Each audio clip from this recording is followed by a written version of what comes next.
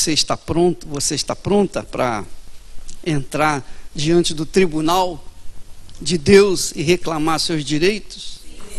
Amém. Graças a Deus. É isso que nós vamos fazer esta manhã. Porque tu és a nossa justiça, ó Senhor Jesus. Tu és a nossa esperança. Tu és a nossa glória. Em ti nós encontramos refúgio, resposta, correção, disciplina, ordem, justiça. Então, meu Senhor, nós queremos que cada pessoa que chegou, que vai chegar, entre nesse mesmo espírito e venha avocar os seus direitos através da sua fé no Senhor Jesus. Em nome do Senhor Jesus, nós te pedimos e te agradecemos. Pedimos que o Senhor venha ouvir o clamor do teu povo, ouvir a súplica dessas pessoas porque cada uma tem uma necessidade, cada uma tem um, uma demanda para te apresentar. Então eu peço que o Senhor incline os teus ouvidos para ouvir o clamor do teu povo. Fale com Deus aí agora.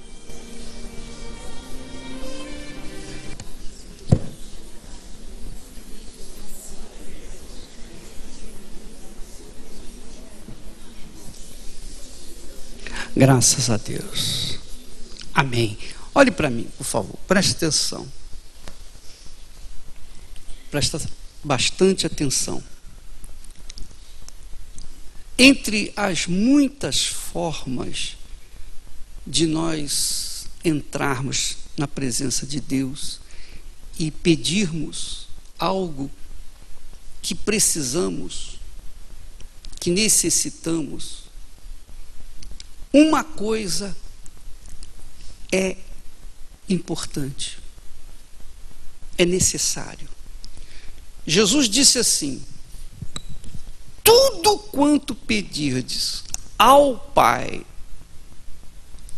em meu nome, crede que recebestes, e assim será convosco. Amém? Que quer dizer uma manifestação real de fé. Não importa quem você é. Não importa o que você fez. Não importa sua vida totalmente em desordem. Isso não importa. O que importa, o que importa quando você entra na presença de Deus é a sua honestidade. Honestidade de espírito. Que, quer, que quero dizer com isso? É você ser o que você é. É o que você apresentar o que você é. Porque Deus conhece você. Não adianta você tentar fingir uma coisa para Deus, porque Deus conhece o mais profundo da sua alma. Então, o que Ele quer, na realidade, é que você expresse uma fé. Amém? Uma fé, uma certeza.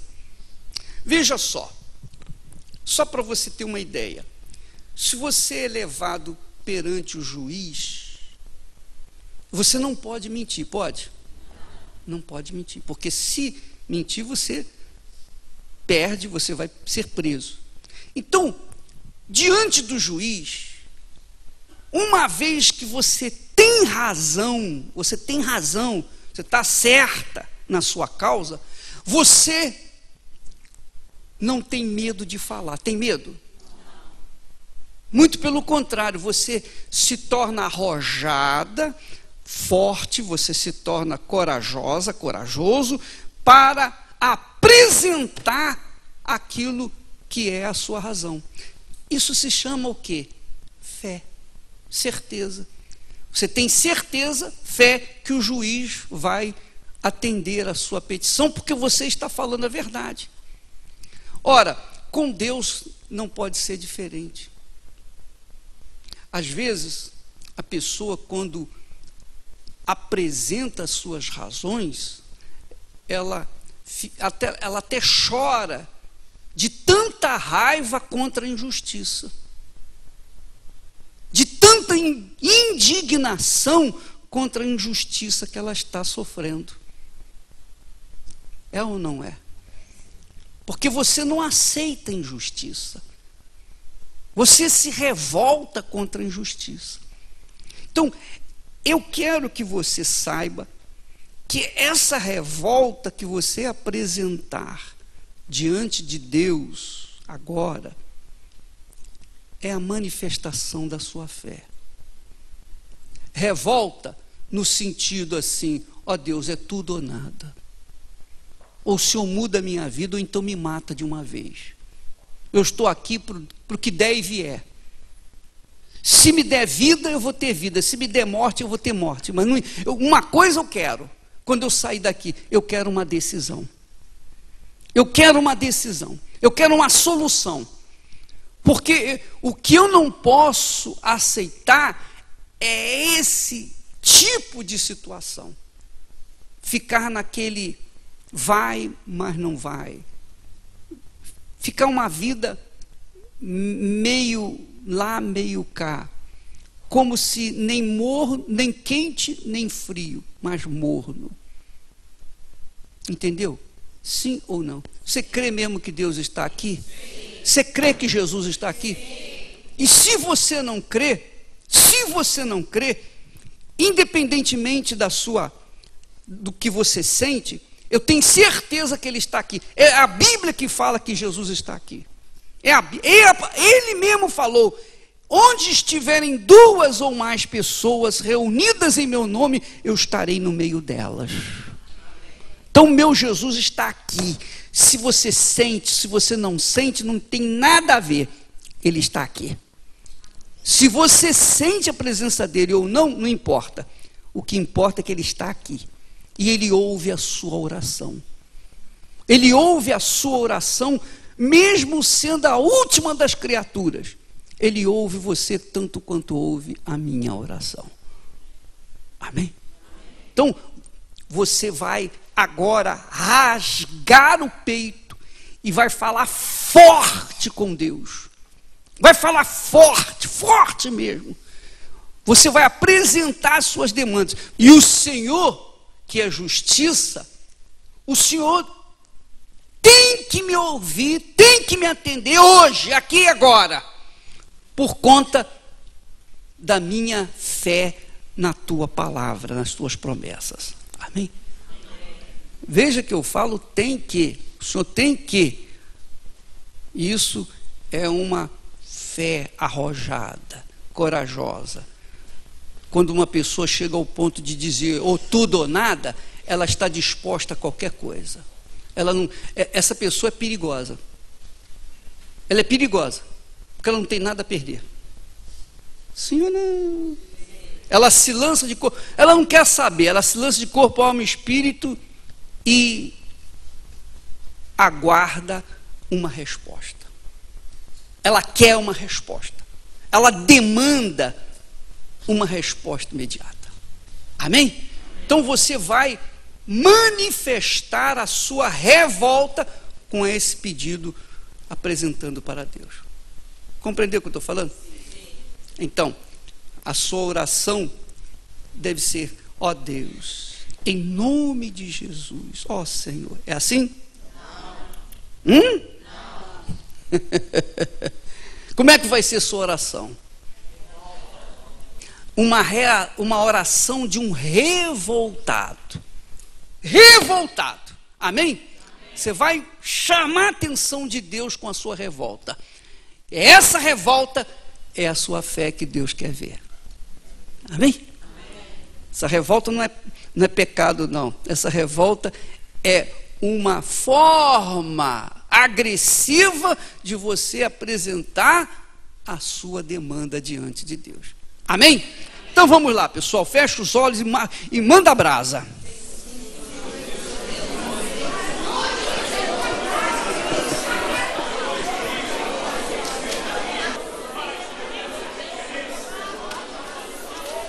Graças a Deus.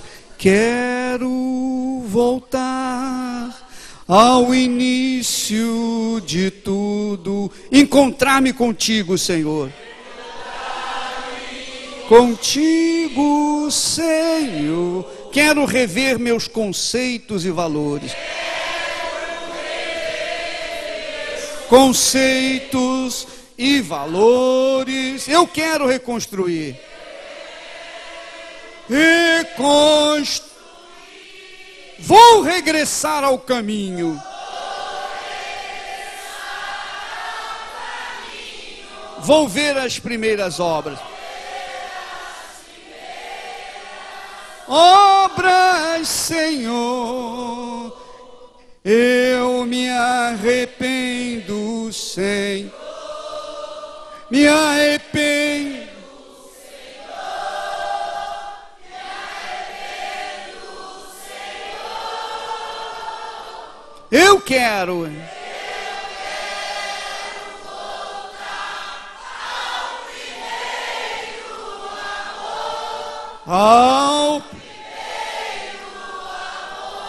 Eu quero voltar. Ó Espírito Santo, meu Deus, em nome do Senhor Jesus. Não é pelo muito falar que nós seremos ouvidos, mas é por conta da nossa fé. A fé que nós exprimimos, que nós expressamos, não apenas com palavras, mas também com atitude. Então eu peço, Espírito Santo, glorifica o nome do Senhor Jesus através dessa criatura. Glorifique o nome de Jesus na vida de cada uma dessas pessoas. Cada uma delas, meu Deus, seja uma testemunha viva da tua ressurreição, uma testemunha viva de que tu estás vivo, que o justo juiz existe e defende a causa do seu povo, ó poderoso de Israel. Nós te louvamos e agradecemos em nome do Pai, do Filho e do Espírito Santo, e todos que creem digam amém. E graças a Deus. Amém. Eu tenho uma palavra para você. Você quer mudar a sua vida? Não é o seu pedido que nós vamos tratar. Nós vamos tratar agora da sua vida em si. Da sua vida por inteiro. Compreende o que eu estou falando? Nós não vamos tratar agora do seu ente querido, do seu marido, da sua mulher, do seu filho, do seu... nada disso. Vamos tratar de você, você. Você. Olha só, se você lê a Bíblia, você vai encontrar um texto quando Deus fala sobre o relacionamento que ele requer da sua parte para com ele. O seu relacionamento com ele, você e ele.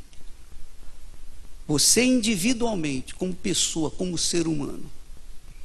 Ele disse assim para, através do seu servo, ele disse para um outro, supostamente servo, que era um profeta, que era um, um sacerdote. Havia um sacerdote em Israel, era o principal sacerdote. Esse sacerdote principal tinha dois filhos. E os seus filhos eram perturbados. Era uma vergonha do pai. Eles eram uma vergonha do pai. Eles abusavam das ofertas que o povo trazia. O povo trazia a oferta, entregava na mão dos filhos do profeta, desse sacerdote. E eles faziam o que bem entendiam com a oferta. Além disso, corrompiam as pessoas, abusavam das mulheres que eram que vinham na, na sinagoga. Enfim, eles eram o, o, a, o próprio diabo em pessoa. E o sacerdote, o pai deles, não tomava atitude não corrigia os seus filhos, não fazia nada, apenas tolerava a rebelião daqueles filhos. Então Deus fala para eles, ou para esse profeta, o, rei, o sacerdote, ele diz assim: ele diz, se você quiser ler comigo, lá em 1 Samuel. Só que eu vou ler na linguagem uh, de hoje, na linguagem mais atualizada, porque fica mais fácil para as pessoas entenderem. Mas você pode ler aí.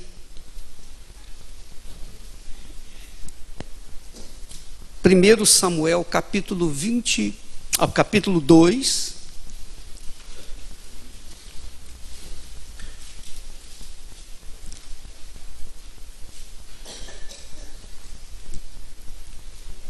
e versículo, a partir do versículo 27. 2 e 27. Eu repito, eu vou ler numa linguagem nova. Depois vocês vão, seria bom que vocês lessem com calma para entender o texto. Amém?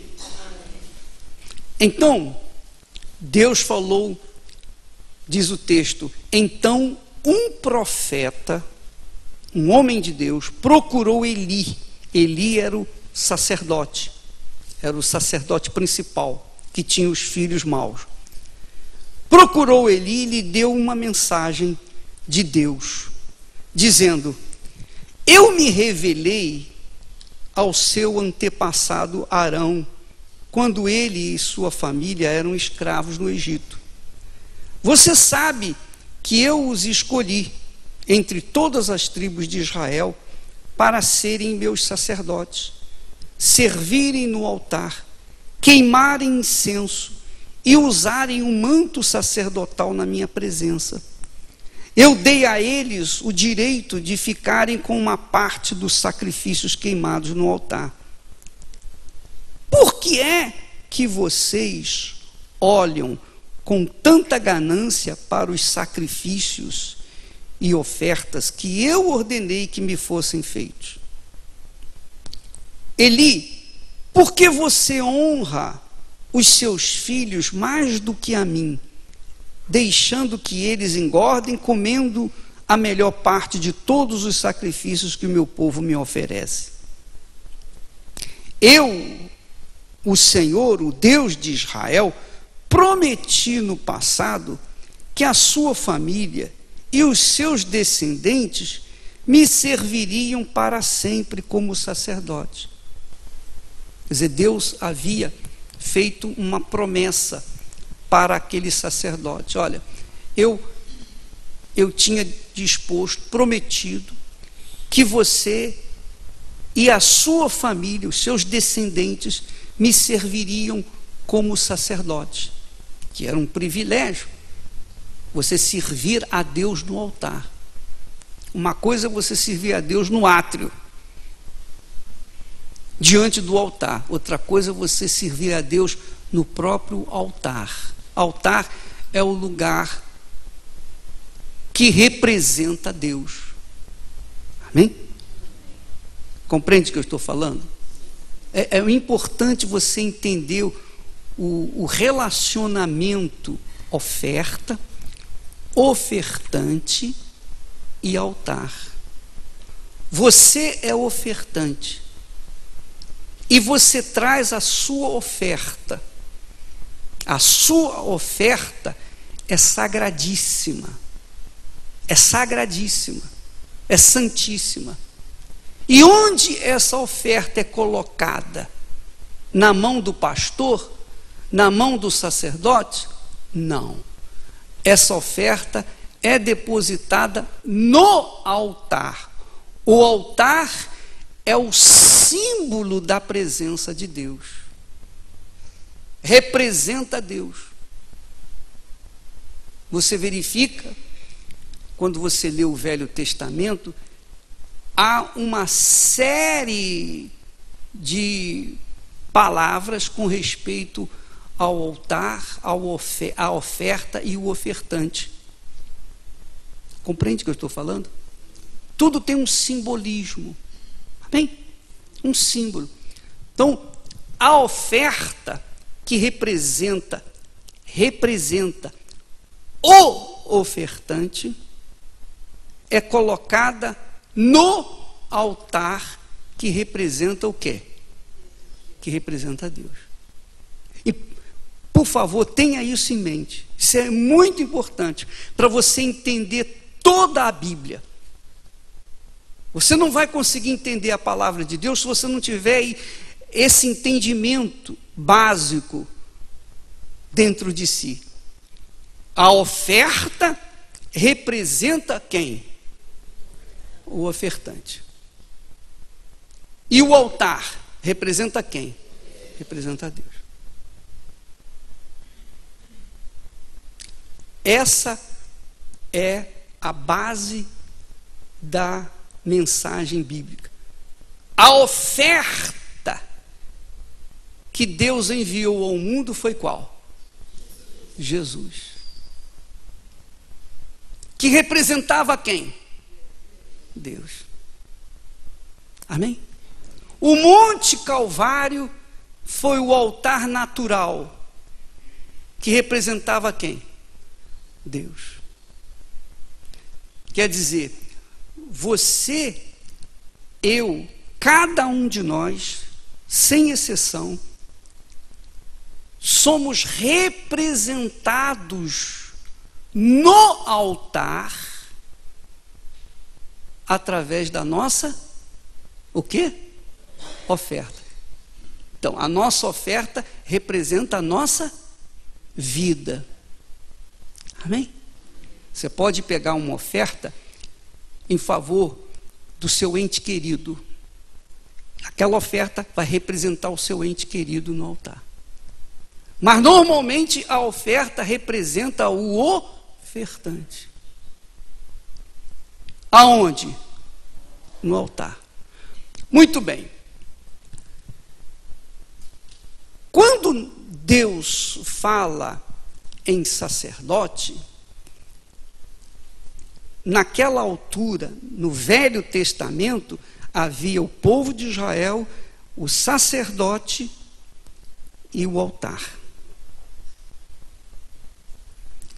O povo de Israel tomava sua oferta, dava ao sacerdote, que era representante de Deus, era um representante de Deus. Pegava a oferta, representava o Senhor Jesus e apresentava então no altar, que era Deus. Amém? Jesus não é o nosso que intercessor? É ou não é? Então, no Novo Testamento, sob a nova aliança, através da nossa vida entregue para Jesus, a nossa vida entregue para Jesus, nos tornou todos sacerdotes. Você é sacerdote tanto quanto eu. A partir do momento que você tem a sua vida entregue 100% ao Senhor Jesus. E o Senhor Jesus, obviamente, como o nosso intercessor, o nosso mediador, é o nosso advogado, é o nosso Senhor. Ele é quem intercede por nós diante do Pai. Amém? Quer dizer, nós, sacerdotes, cometemos pecados, erros, delitos, mas nós não vivemos no pecado. Nós não vivemos no delito. Então, confessamos os nossos pecados, o Senhor Jesus, como nosso sacerdote, sumo sacerdote, amém? Intercede junto ao Pai por cada um de nós, amém? Agora, é claro, se a pessoa vive no pecado, aí é outra coisa. Ela não, não está, não tem Jesus como seu intercessor. Mas o fato é que o sacerdote Eli, mesmo sabendo daquela situação que os seus filhos roubavam das ofertas, adulteravam, se corrompiam, se prostituíam, não tinham comportamento de acordo, o sacerdote não os removeu, os manteve lá, mesmo sabendo que eles estavam errados. Ora, então Deus aqui fala assim, da parte dele: Eu, o Senhor, o Deus de Israel, prometi no passado que a sua família e os seus descendentes me serviriam para sempre como sacerdote. Quer dizer, vocês estariam permanentemente na minha presença. Amém? Mas, aí ele diz assim: Mas agora eu digo que isso não vai continuar, pois os que me honram, eu honrarei, e os que me desprezam serão desmerecidos. Amém? Os que me honram serão honrados, os que me desprezam serão desmerecidos. O que, que isso significa para você? O que, que isso significa no relacionamento com Deus? Que eu posso ser, eu posso ser a pessoa mais suja que existe na face da terra, mais imunda a pior das criaturas. Porém, se eu me faço a oferta viva, se eu me entrego, se eu me rendo, se eu me humilho diante de Deus, se eu coloco toda a minha vida no altar, 100%, se eu honro o meu Senhor, com a minha vida, se eu me lanço no altar, se eu me, lo, me largo no altar 100%, sem deixar nada para trás, o que que eu estou fazendo diante de Deus? O que que eu estou fazendo nesse momento? Hein? O que que eu estou fazendo? Hã? Eu estou honrando o meu Deus. Eu estou manifestando a minha fé. Eu estou dizendo, meu Deus, eu não valho nada, mas o que eu tenho, isso eu entrego nas tuas mãos. 100%. Então, a minha família, os meus filhos, os meus entes queridos, eu deixo para trás. Em segundo plano. E eu faço dele o meu primeiro amor. Eu me torno a oferta viva para Deus. Em outras palavras, a minha oferta se assemelha ou simboliza ou tipifica a oferta dele para, para mim. Qual foi a oferta dele para mim? Jesus. Qual é a minha oferta para ele? A minha vida, 100%. 100%. Não apenas no momento aqui na igreja. Não. Quando eu entrego a minha vida para Ele, a partir daquele momento, eu morri para o mundo. Eu simplesmente morri para o mundo. Eu simplesmente vou fazer do meu relacionamento com Ele a coisa mais importante na minha vida. Mais importante do que a minha família. Mais importante do que o meu sucesso de qualquer coisa. Mais importante do que a minha própria vida. Eu vou renunciar a minha vida 24 horas por dia e por 365 dias no ano para viver em função dele. Amém. Compreende o que eu estou falando? Você vai dizer assim, mas isso é quase impossível. De... Não é não. Não é não. Não é quando você tem o retorno da parte dele imediato, que é o Espírito Santo. O Espírito Santo só é dada à pessoa que está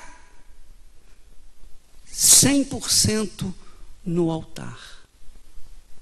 Amém, pessoal? 100%. Quando você se lança de corpo, alma e espírito. Você se você é a oferta viva no altar de Deus. Deus sabe que você não tem condições de viver 24 horas em função dele por si próprio, você não tem condições de fazer isso. Porque você é humano, ser humano está sempre falhando, é ou não é?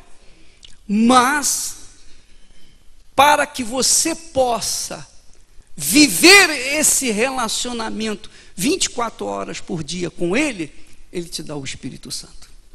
Na hora. Amém? Na hora. Na hora. Não é amanhã, não é depois. Não é 21 dias fazendo jejum, não a partir do momento que você se lança 100% nas mãos dele ou no altar, então Jesus lhe concede o Espírito Santo para que você tenha condições de manter-se no altar. Amém. Então você vê muita gente cristã, muita gente que se diz cristã, muitas igrejas, muitos pastores, muito, muita gente que prega o evangelho, muitos elis neste mundo, muitos pastores que trabalham no, no altar físico, mas não no altar espiritual, que têm visto coisas erradas ou que têm feito coisas erradas, eles já morreram para Deus. Eles têm nome de que vivem, mas já morreram para Deus. Por quê? Porque estão fazendo exatamente o que esse sacerdote fez e que Deus prometeu. Ele disse assim: Está chegando o tempo em que eu matarei todos os moços da sua família. Quer dizer, não vai acontecer de nenhum dos seus descendentes ficar ficarem velho. Não vai haver velho na sua casa. Eles vão morrer no, novos. Por quê? Porque vocês estão me desonrando. Vocês conhecem a minha palavra. Vocês sabem o que estão fazendo. Mesmo assim, vocês me desonram. Quando a pessoa não conhece a palavra de Deus e vive no pecado, ela tem mais condições de encontrar-se com Deus do que aquela pessoa que conhece a palavra de Deus, conhece o Evangelho e vive no pecado. Essa já morreu. Se não se arrepender, ela já morreu. Pode ser pastor, bispo, pode ser o que for. Não se brinca com as coisas de Deus. Então você verifica agora, você sabe agora o porquê que você diz assim: eu sou, eu estou na igreja há tantos anos, eu creio em Jesus, eu creio na palavra de Deus, mas a minha vida não sai da mesmice que eu tenho vivido. É a mesma coisa. Entra ano, sai ano e não há uma não há um resultado de acordo com a Bíblia. Não existe resultado. A palavra diz claramente: eu vim trazer vida e vida com abundância, mas não existe vida com abundância para mim. Eu creio em Ti, Jesus, mas não existe essa vida com abundância. Por quê? Por que, que não acontece isso? Claro, todos temos lutas, todos temos problemas, mas todos aqueles que estão no altar, eles vão conquistando, dia após dia após dia, vão ascendendo. Mas a, a maioria dos que estão nas igrejas, infelizmente, tem a vida parada ou até descendo. Tem uma vida até pior do que os incrédulos. Por quê? Porque conhecem a verdade, mas vivem a mentira. Conhecem a justiça, mas vivem a injustiça.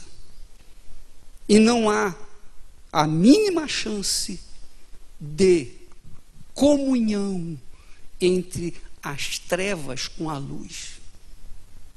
Não existe isso. Você quer a sua vida transformada? Você quer a sua vida mudada? Eu sei que, que muitas pessoas não têm esse interesse, o interesse em levar a sério a sua fé. Não tem esse interesse. Mas há aquelas pessoas que são sinceras, aquelas pessoas que são que estão é, cansadas de sofrer, cansadas de gemer, cansadas de clamar. São pessoas sinceras e ainda, ainda que estejam é, conhe, têm conhecimento, não viveram ainda essa transformação que Deus quer, porque elas estão divididas entre si mesmas e seus entes queridos, seus filhos, ou a sua vida sentimental, ou a sua vida profissional, ou a sua vida física, saúde. Estão preocupados com outras coisas e também preocupadas em agradar a Deus. Não pode. Ou você toma uma decisão, ou você continua vivendo o que você está vivendo. Se você quer mudança radical e rápida, objetiva, então está aí o conselho, que só depende de você. Você é a oferta. Amém? Você é a oferta. Só você pode se oferecer ou não para Deus.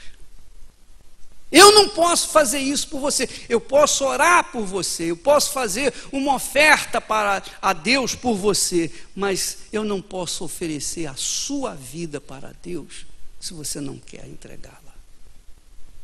A sua vida é sua. Só você tem o direito de fazer. Eli, esse sacerdote, não podia oferecer os seus filhos para Deus, porque a vida dos filhos dele eram era deles. E a sua vida é sua. Amém? Entendeu o que eu estou falando? E agora? Qual é a sua decisão? Qual é a sua decisão? Qual é a sua é, o seu pensamento a respeito disso?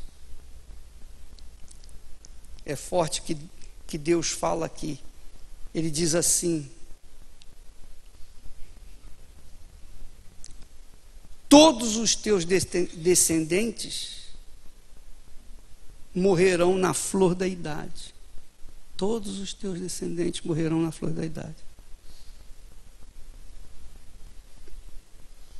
E os teus filhos, ambos morrerão no mesmo dia. E tudo que Deus falou aconteceu. Aconteceu. Ele também morreu quando soube da notícia que os filhos haviam morrido. E, o, e a arca tinha sido, a arca da aliança tinha sido levada.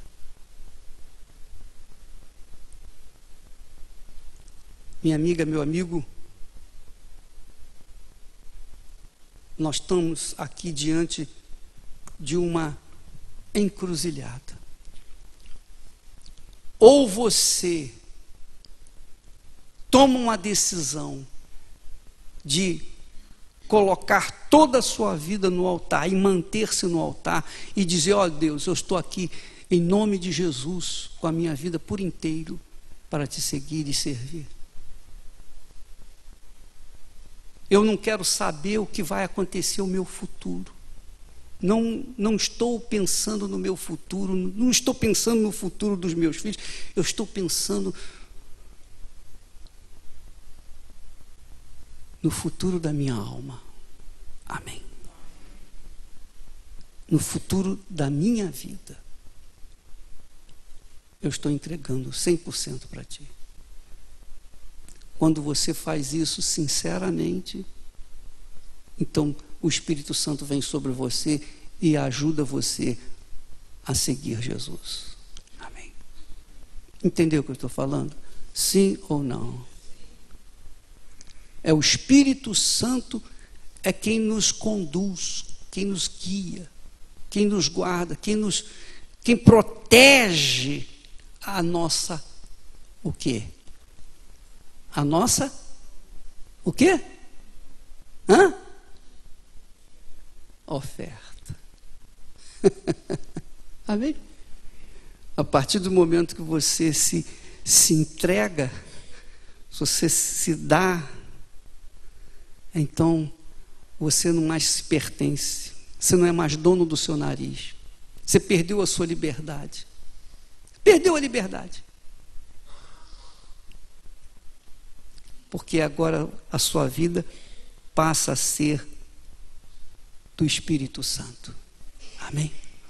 É, é a oferta que vai viver por toda a vida no altar de Deus. Está claro para você? Sim ou não?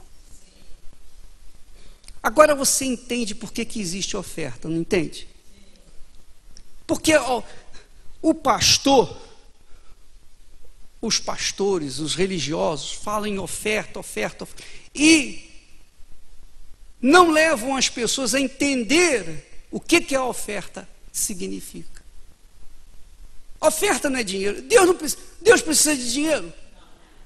Para que Deus vai querer dinheiro? Deus não precisa de nada. Mas o, a oferta é um símbolo, ela representa a, a vida do ofertante. Então, quando você chega na frente e coloca uma oferta qualquer, é que a sua vida é uma oferta qualquer para Deus. Você, ah, Vou dar qualquer coisa para Deus. Você dá uma parte da sua vida para Deus. E Ele não aceita, Ele não recebe. Ele não aceita. A oferta é tão santa, tão sagrada, tão pura. Leia aí, por favor, em Mateus capítulo 5 e versículo 23.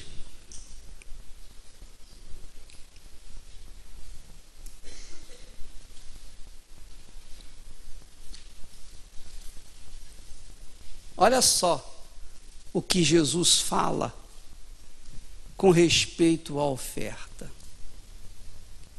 Veja só como Deus trata a oferta. Olha só. Se, se pois, ao trazeres ao altar, quem está falando isso? Quem que está falando isso? Jesus ele ensinando: se, pois, ao trazeres ao altar, símbolo de Deus, altar, ao trazeres ao altar a tua oferta, e ali te lembrares de que teu irmão tem alguma coisa contra ti, faz o que com a oferta? Deixa perante o altar a tua oferta. Você não pode dar a oferta. Suponhamos que isso seja a oferta.